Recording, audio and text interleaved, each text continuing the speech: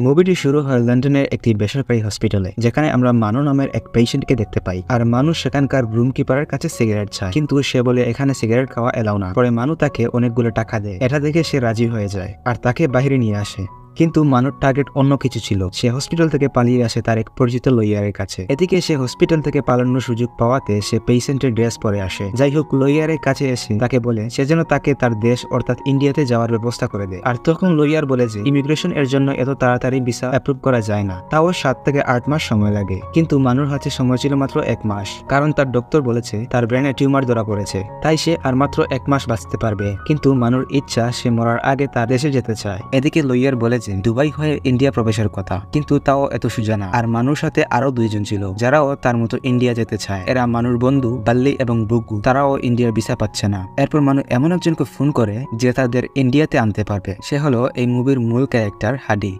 এবার মানুষ যখন হাডিকে কল করে, তখন হাডি ইন্ডিয়া পাঞ্জাবে একটা রেস খেলছিল। আর যখন মানুর কল আসে, তখন সে রেসের মিডিলেই থেমে যায়। এরপর হাডিকে একুশ তারিখ দুবাই এয়ারপোর্টে আসার জন্য বলে। এদিকে হাডি মানুকে ভালোবাসত। আর এদিকে যখন বাল্লি ও বুগ্গু হাডির খবর পায়, তারাও নিজেদের ব্যাকপ্যাক করতে শুরু করে দেয়। বাল্লি নিজের সেলুন বিক্রি করে দেয়, আর বুগ্গু নিজের কাজটি ছেড়ে দেয়। আর তাদের তিনজনের একমাত্র অমূল ইচ্ছা যে কোনো মূল্যে ইন্ডিয়া পৌঁছানো। তবে তার আগে একটি কথা, আপনারা এখনও জানেন না যে, এরা লেনদেনে কি করে এলো। আর এখন কেন লন্ডন থেকে নিজেদের দেশে ফিরে যেতে চায়। তো সবকিছু শুরু হয় পঁচিশ বছর আগে, যখন তারা স্বপ্ন দেখে বিদেশ যাওয়ার আর সেখানে গিয়ে রোজগার করার, নিজেদের জীবন আরও ভালো করার। কিন্তু সবারই মজবুরি আলাদা ছিল, তার মানে তাদের বাড়িটি পাওনাদারদের থেকে ছাড়াতে চায় আর বাল্লি নিজে রোজগার করে বড় কিছু করতে চায় আর বুক্কু নিজের মাকে অন্যের বাড়িতে কাজে যেতে দেখতে চায় না। সে নিজের রোজগার করে নিজেই প্রতিষ্ঠিত হতে চায় আর তারা মনে করে যে এই সব স্বপ্ন পূরণ হবে যদি তারা বিদেশ গিয়ে টাকা ইনকাম করে। তারপর তারা লন্ডন বা যুক্তরাজ্যে যাওয়ার জন্য প্রস্তুতি গ্রহণ করে আর একটি দেশে যেতে হলে অবশ্যই ভিসা প্রয়োজন হয়। আর এই জন্য তারা তিনজন চলে আসে এক দালালের কাছে। আর এখানে এসে তারা জানতে পারে যে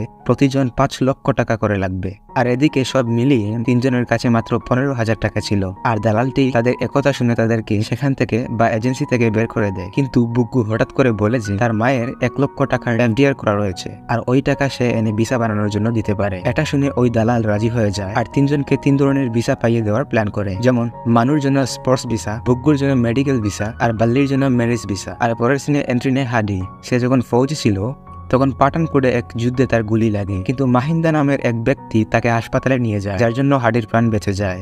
এরপর আমরা দেখতে পাই হাডি এক বছর হসপিটালে থাকার পর অর্থাৎ সুস্থ হয়ে মাহিন্দ্রাকে ধন্যবাদ জানানোর জন্য তার গ্রামে লালটু পাঞ্জাবে চলে আসে আর মাহিন্দ্রাকে তার টেপ রেকর্ডার ফিরিয়ে দেওয়ার জন্য তার বাড়ি খুঁজতে থাকে। তবে তার কাছে ববি ডাবা ছাড়া আর কোনো ঠিকানাই ছিল না আর মানু ববি ডাবাতে কাজ করত আর সে তার দোকান মালিককে লন্ডনে যাওয়ার কথা বললে তার মালিক তাকে গালাগাল করে আর বলে, এটা তো মাটিতে থেকে চাঁদ ধরার মতো। কিন্তু মানু তার এই স্বপ্ন পূরণের মধ্যে কাউকে আসতে দিতে চায় না। তাই সে ওই কথা বলে ওই দোকান ছেড়ে চলে আসে। আর যখন দোকান মালিক মানু আর তার বন্ধুদের ইনসাল্ট করছিল, সেটা মানু নিতে পারেনি। আর তখন সে পায়ের উপর পা তুলে দোকান মালিককে অর্ডার করে। তখন সে খেপে গিয়ে মানুকে মারতে আসে। আর ওই সময় ওই দোকানে হাডি বসেছিল। আর যখন সে মানুকে মারতে যায়, তখন হাডি এসে ওই লাঠি ধরে উল্টো মালিককে মারধর শুরু করে। আর এটা মানু দেখে হাডিকে বলে কুস্তি শেখানোর জন্য। আর যখন হাডি বলে যে সে এই গ্রামে থাকে না, সে তার বন্ধু মাহিন্দ্রাকে তার টেপ রেকর্ডার ফেরত দিতে আসছে। আর আজকে রাতেই সে ট্রেনে ফিরে যাবে।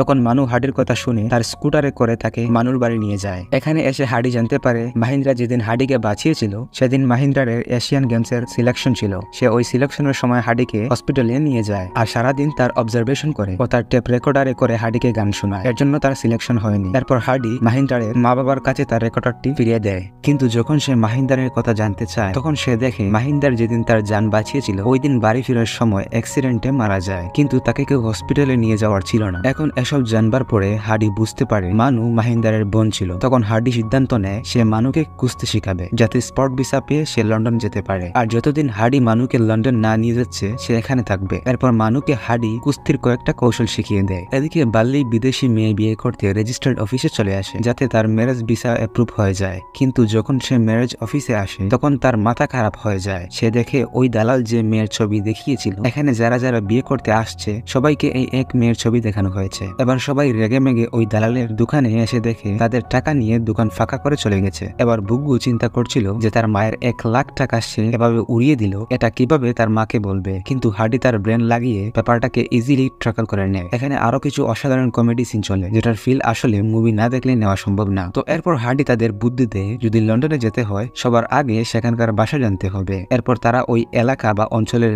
সবচেয়ে বেস্ট একটা কোচিং সেন্টারে ভর্তি হয়। আর এখানে আমাদের সাথে পরিচয় হয় চুকির সাথে। যার ক্যারেক্টারে অভিনয় করছেন বিকি কৌশল। কোচিং এর শুরুতে টিচার গুলাতে তাদের ইংলিশ শেখাচ্ছিলেন। এবার এখানে টিচিং স্টাইল দেখে চৌকি রেগে যাচ্ছিল। কারণ তাদের একটা লাইন শেখানোর জন্য একদিন সময় লাগাচ্ছিল। কিন্তু তার কাছে এত সময় নেই। কারণ সে চাচ্ছিল যত তাড়াতাড়ি সম্ভব সে লন্ডনে পৌঁছাক। কিন্তু তার গার্লফ্রেন্ডকে অন্য কেউ বিয়ে করে লন্ডন নিয়ে গেছে। সে তার গার্লফ্রেন্ডকে ফিরিয়ে আনতে লন্ডন যেতে চায়। এরপর তারা নিজেদের মতো করে ইংলিশ শিখে চলে আসে লন্ডনের এম্বাসিতে ভিসা অ্যাপ্রুভালের জন্য। সেখানে তাদের ইংলিশ টেস্ট নেওয়া হতো। কিন্তু তারা সেখানে টেস্ট দেয়। বাল্লি ছাড়া সবার অ্যাপ্রুভাল ডিক্লাইন করে দেয়। এখন যখন বাল্লি জানতে পারে সে পাস হয়ে গিয়েছে, তখনই সে খুশিতে অজ্ঞান হয়ে যায়, কিন্তু বাকিরা ফেল হয়ে যায়। এরপর আমরা দেখতে পাই মুভির সব থেকে ট্র্যাজিক সিন সত্যি বলতে এটি দেখে আমারও চোখের পানি চলে আসে। আসলে যখন সুকি ফেল হয়ে যায়, সেটার খবর পেয়ে যায় তার বিয়ে হওয়া গার্লফ্রেন্ডে আর ওই মেয়েটি ওই খবর পেয়ে লন্ডনে সুসাইড করে ফেলে। বাল্লি লন্ডনে গিয়ে সুকিকে এই খবর জানাতে সুকিও নিজের গায়ে আগুন দিয়ে মরে যায়। আর এই ঘটনার পর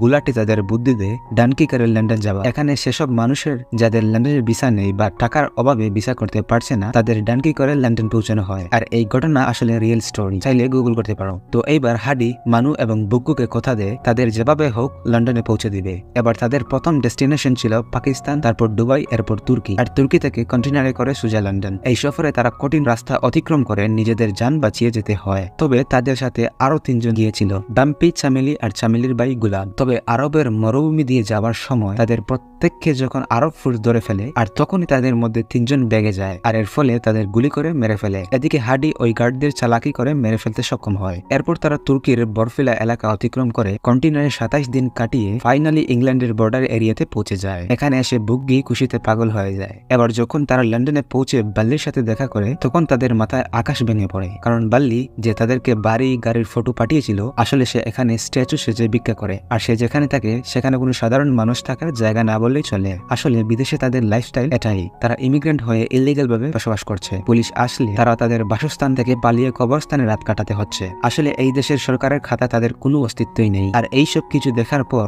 হাডি সেখান থেকে এক লয়ারকে কুজিয়ে আনে, যে তাদের ওই দেশের নাগরিকত্ব করার ব্যবস্থা করবে। এখন তাদের হাতে তিনটি অপশন প্রথমত এক মিলিয়ন পাউন্ড ইনভেস্ট করলে এখানকার সরকার নাগরিকত্ব করিয়ে দেবে। সেকেন্ড অপশন হচ্ছে, এখানে কাউকে বিয়ে করে সিটিজেনশিপ পাওয়া। আর থার্ড অপশন হচ্ছে, এদেশের কোর্টে বলতে হবে পলিটিক্যালি তাদের জানে মারার হুমকি দিয়েছে। তাই তাদের অ্যাসাইলেন দিয়ে দেওয়া। আর এখন তাদের তিনটি অপশনের মধ্যে প্রথমটি, অর্থাৎ এক মিলিয়ন পাউন্ড খরচ করার চিন্তা ভুলে যেতে হবে। কারণ বর্তমানে তাদের কাছে খাবার টাকা আছে কিনা, তাই চিন্তার বিষয়। আর সেকেন্ড অপশনে মানুর ব্যবস্থা হয়ে যাবে। আর এই লইয়ার মানুর জন্য একটা ছেলে এনেছে, যার সাথে বিয়ে করিয়ে মানুকে এদেশের নাগরিক করা হবে। বাকি তিনজনকে অর্থাৎ হার্ডি, বাল্লি এবং বুগ্গুকে কোর্টে জাজের সামনে অ্যাসাইলামের জন্য নিজেদের দেশের সঙ্গে দোকাদারি করতে হবে, যেটা কোনোভাবেই হার্ডি একজন ফৌজি হয়ে নিজের দেশের বিরুদ্ধে যাবে না। কিন্তু তাদের হাতে আর কোনো অপশন নেই। এদিকে মানুর ব্যবস্থা করিয়ে দেওয়ার জন্য তার একটা চার্চে বিয়ে অ্যারেঞ্জ করা হয়। কিন্তু মানুকে হার্ডি ভালোবাসত। সে মানুকে লন্ডন সিটির ক্লক টাওয়ারে প্রপোজ করার স্বপ্ন দেখছিল। তার বিয়ের সময় চার্চের বাহিরে মন খারাপ করে বসে আছে। এদিকে ফাদার যখন বিয়ে করিয়ে ব্রাইডার গ্রুমকে কিস করাবে, তখন এটা দেখে হার্ডি গ্রুমকে মারতে শুরু করে।